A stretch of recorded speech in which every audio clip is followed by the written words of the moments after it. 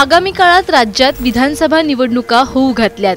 यंदाच्या विधानसभा निवडणुकीत महायुती विरुद्ध महाविकास आघाडी अशी काटेकी टक्कर रंगण्याचं चित्र दिसतंय. मुंबई ते दिल्ली नेत्यांच्या बैठकांचा सपाटा सुरू आहे. नेत्यांच्या गाठीभेटी तर सुरू राहतील पण तोपर्यंत आपण राज्यातील विधानसभा मतदारसंघांचा आढावा घेऊयात. रायगड जिल्हा. रायगड जिल्ह्यात कोणकोणते विधानसभा मतदारसंघ येतात? हे मतदारसंघ कोणत्या प्रवर्गासाठी राखीव आहेत? या मतदारसंघात कोणत्या पक्षाची राजकीय ताकद किती आहे? शिवसेना आणि राष्ट्रवादी पक्षात पडलेल्या पक्षफुटीनंतर इथलं राजकीय समीकरण कसं आहे? विधानसभेची खडाजंगी या विशेष कार्यक्रमात पाहूयात रायगड जिल्ह्यातील विधानसभा मतदारसंघांचा राजकीय आढावा. रायगड जिल्हा. रायगड जिल्ह्यात कोणते मतदारसंघ मोडतात? रायगड जिल्ह्यात एकूण सात विधानसभा मतदारसंघ आहेत. पनवेल कर्जत उरण पेण अलिबाग श्रीवर्धन आणि महाड. समुद्राचं सुवर्ण वैभव लाभलेला जिल्हा म्हणजे रायगड जिल्हा. निसर्गाचा हिरवा शालू नेसलेला हा जिल्हा पर्यटनाच्या दृष्टीनं जितका महत्त्वाचा मानला जातो तितकाच राजकीय दृष्ट्या सुद्धा. नुकत्याच झालेल्या विधानसभा निवडणुकीत इथे राष्ट्रवादी अजित पवार पक्षाचे सुनील तटकरे निवडून आले. या निवडणुकीत सुनील तटकरे विरुद्ध उद्धव ठाकरे पक्षाचे अनंत गीते यांच्यात चुरशीचा सामना रंगला. दोन्ही पक्षांकडून एकमेकांच्या टोकाच्या वल्गना केल्या गेल्या. मात्र मतदारांनी राष्ट्रवादीला हात दिला. त्यामुळे येत्या विधानसभेला रायगड जिल्ह्यातून कोण निवडून येतं हे पाहणं उत्सुक्याचं ठरणार आहे. पनवेल विधानसभा मतदारसंघ मागच्या पंधरा वर्षांपूर्वी पनवेल विधानसभा मतदारसंघात शेतकरी कामगार पक्षाचा बोलबाला होता. मात्र दोन हजार नऊ साली झालेल्या विधानसभा निवडणुकीत इथलं राजकीय चित्रच पालटलं. शेकापच्या उमेदवाराला धूळ चारून प्रशांत ठाकूर राष्ट्रवादी काँग्रेसच्या तिकिटावर निवडून आले. दोन हजार चौदामध्ये भाजपची राज्यात सत्ता येणार असल्याची चाहूल लागताच पिता पुत्रांनी खारगळ टोलनाक्याचा प्रश्न उपस्थित करून भाजपमध्ये प्रवेश केला. प्रशांत ठाकूर यांनी दोन हजार चौदामध्ये भाजपमधून निवडणूक लढवली आणि जिंकलीही. मात्र फडणवीस सरकारमध्ये त्यांना मंत्रीपद मिळू शकलं नाही.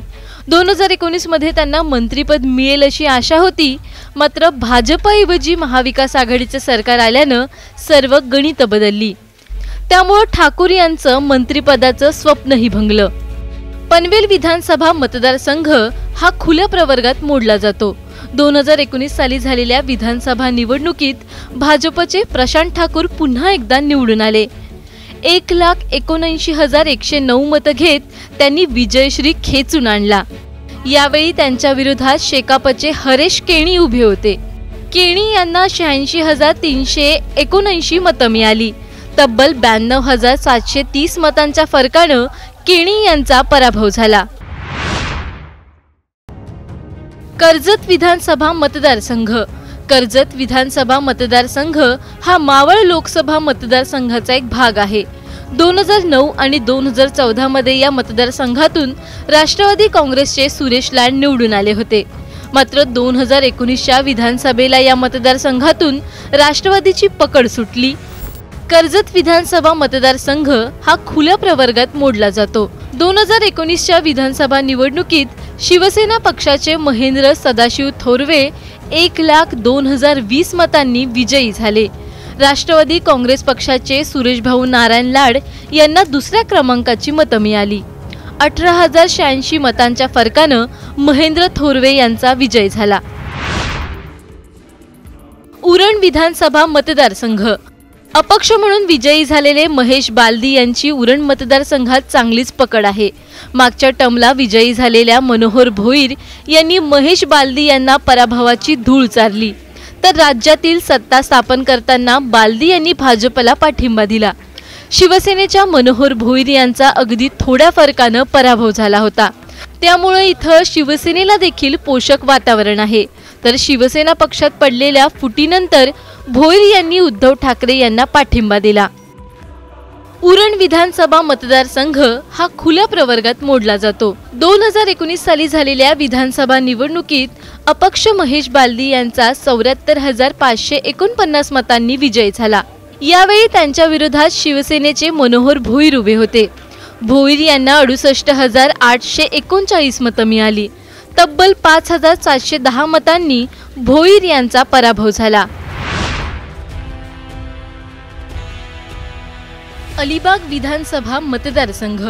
समुद्र आणि त्याभोवती पर्यटकांनी वेढलेला अत्यंत महत्त्वाचा विधानसभा मतदारसंघ म्हणजे अलिबाग विधानसभा मतदारसंघ. या मतदारसंघात पूर्वी शेकापचा बोलबाला होता. मात्र दोन हजार एकोणीस सालच्या निवडणुकीत इथं शिवसेना पक्षानं सत्ता काबीज केली. तर शिवसेना पक्षात पडलेल्या फुटीनंतर महेंद्र दळवी यांनी एकनाथ शिंदे यांना पाठिंबा दिला. रायगडमधील शिवसेनेच्या तिन्ही आमदारांनी शिंदेंना समर्थन दिलं.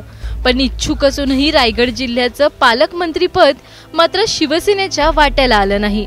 यावरूनच राष्ट्रवादी अजित पवार पक्षात आणि शिंदेच्या शिवसेनेत धुसफूस पाहायला मिळाली. त्यामुळं आगामी निवडणुकीत या मतदारसंघात काय घडतं हे पाहणं उत्सुक्याचं ठरणार आहे. अलिबाग विधानसभा मतदारसंघ हा खुल्या प्रवर्गात मोडला जातो.